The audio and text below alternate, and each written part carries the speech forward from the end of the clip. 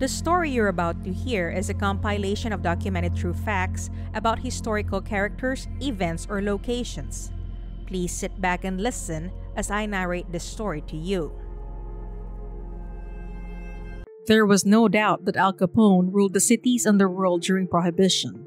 However, in 1931, the fearsome mobster was imprisoned for tax evasion. Though he was eventually released, his health had deteriorated to the point where he was unfit to lead the Chicago outfit. And for a while, it was unclear who would be the best man for the job. Tony Accardo enters the picture. Though Accardo began as one of Al Capone's low level associates, he gradually rose through the Chicago Mafia ranks.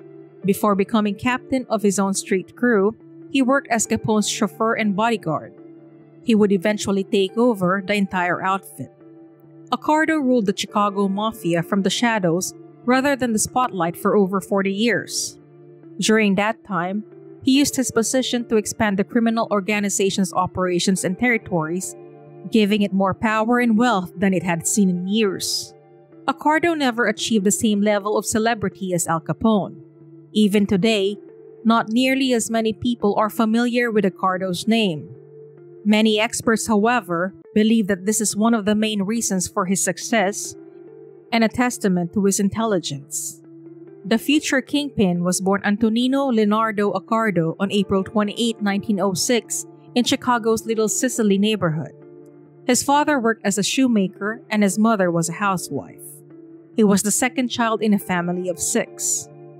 By 1920, when Tony was 14 years old, it was clear that he had no desire to succeed in school.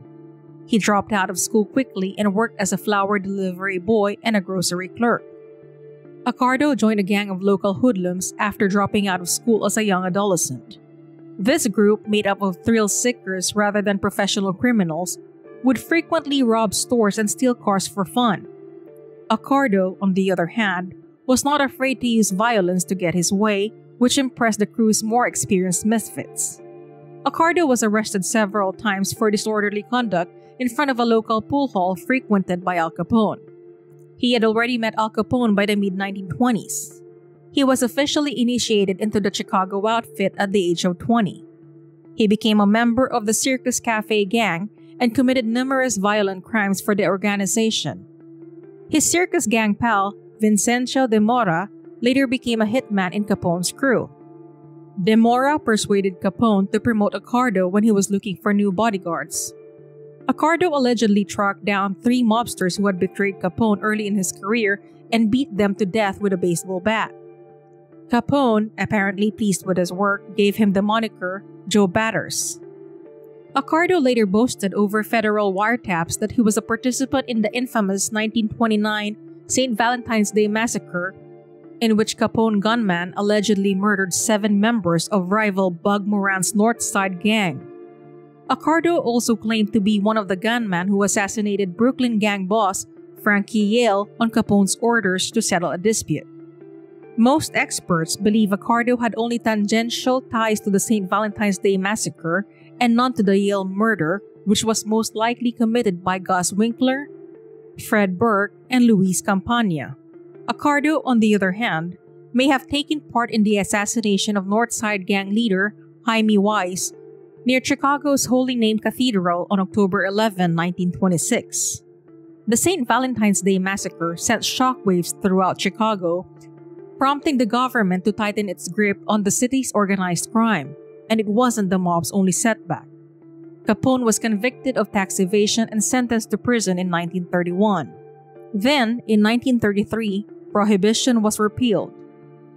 With the legalization of alcohol distribution restored, the outfit needed to find a new source of revenue. Of course, the mob needed to find a new leader as well. Accardo was appointed capo or captain of his own street crew around the same time. While he was gradually becoming an important voice in the outfit, he wasn't ready to take over the entire operation just yet. For a time, Frank the Enforcer Nitti took Capone's place as boss. After serving his own 18 month sentence for tax evasion, he became the new outfit boss. Accardo had established a solid track record of making money for the organization by this point. so Nitti let him form his own crew. He was also named the outfit's chief enforcer. Accardo quickly established several lucrative swindles, including gambling, loan sharking, bookmaking, extortion, and the distribution of untaxed alcohol and cigarettes.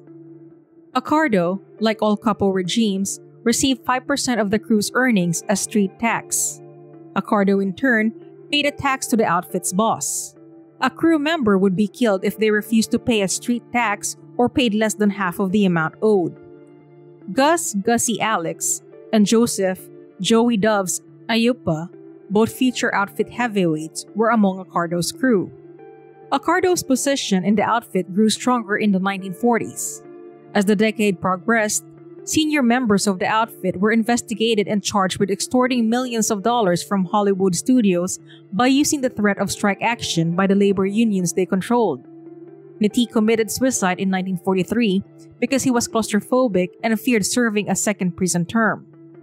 Meanwhile, Paul the waiter Ricca attempted to take over as boss, but Ricca got into trouble with the law as well and was soon locked up.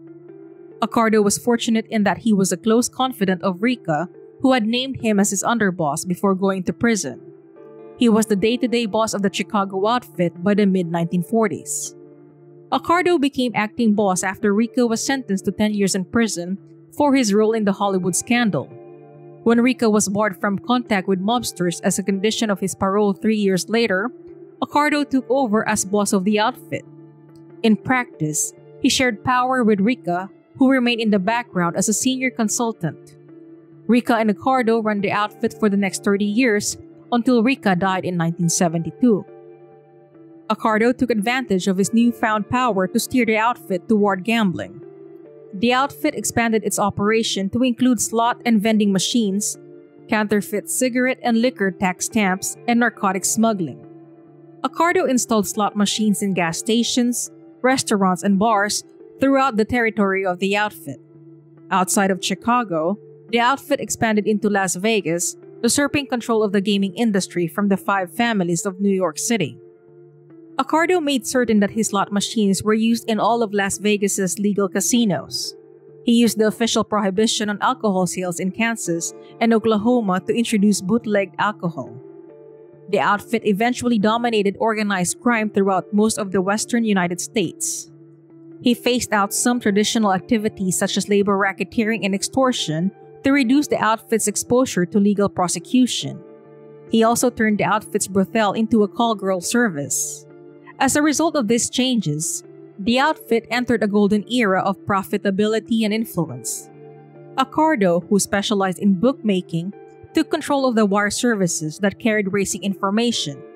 That way, he could assist bookmakers in setting odds and collecting on bets. He expanded the outfit into new areas of the city and beyond, in addition to identifying new sources of income. The outfit was soon wealthier than it had been in years. Accardo's relatively modest lifestyle, on the other hand, would lead you to believe he was not a wealthy man. When asked what he did for a living, he said he was a beer salesman, and a good one at that. He was also married to Clarice, with whom he had two daughters and two adopted sons. Unlike Al Capone, whose extravagant lifestyle drew the attention of law enforcement, Accardo preferred to operate in the shadows. Accardo's influence on organized crime was both enormous and invisible due to his discreet manner. It's no surprise that FBI agent William F. Roemer Jr. referred to Accardo as the genuine godfather. Though Accardo officially retired as a mafia boss in the late 1950s, he continued to wield power as a consigliere. He stepped aside rather than stepping down from a position of power. Accardo began to enjoy the benefits of his job as he distanced himself from the outfit. He lavishly planned his daughter's wedding, took her on an extended vacation to Europe, and took up deep fishing as a hobby. Accardo's photo with a freshly caught 400 pound tuna fish earned him a new nickname in the press Big Tuna. But like other mobsters, he was not immune to police suspicion. He was also not exempt from spending time in court. Despite multiple convictions for various crimes, Tony Accardo was only ever imprisoned for one day when he was detained for questioning in a gambling case. Accardo appeared to be on the verge of serving a prison sentence in the early 1960s Despite vowing not to repeat Capone's mistakes, he was found guilty of tax evasion. Accardo was indicted after the IRS investigated his bank accounts. He received a six year prison sentence and a 15,000 fine. The conviction was later overturned due to a biased media coverage during the trial. He soon retired and was summoned to the Senate several times for mob related investigations. He invoked the Fifth Amendment guarantee 172 times and denied any involvement in the Chicago mob. Accardo's problems, however, were far from over. It quickly became clear that the new outfit boss, Sam Giancana, had some issues. While Accardo advised Giancana to keep his head down, Giancana ignored his advice. Giancana, like Al Capone, craved attention and reveled in the spotlight. The outfit did not fare well under Giancana's leadership, and he was eventually imprisoned in 1965. While he was released a year later, he quickly fled to Mexico to avoid further grand jury interrogation. Giancana, however, was unable to maintain a low profile even in Mexico. With his flashy persona as it was, he quickly drew the attention of the cops. Giancana was arrested by Mexican authorities and deported to the United States in 1974. He was later called as a witness before a grand jury, much to his chagrin. But he was never able to continue because he was murdered in 1975. While it was never confirmed that Accardo ordered the hit, many experts believe that no one else would have had the power to do so. Even as he grew older, he maintained that he was nothing more than a beer salesman. While authorities clearly knew he was up to no good and continued to investigate him in his later years, he was never charged. Tony Accardo died of congestive heart failure and acute respiratory failure on May 22, 1992. He was 86 years old, a remarkable feat for someone who had spent most of his life in such a hazardous occupation.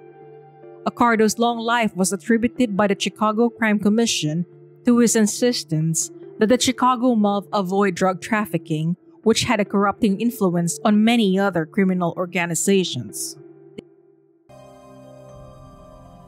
Hey everyone! I just wanted to express how grateful I am that you took time out of your day to listen to my narration. This is Nikki of Twysted Mind, and I'd like to wish you a wonderful rest of your day. Salamat!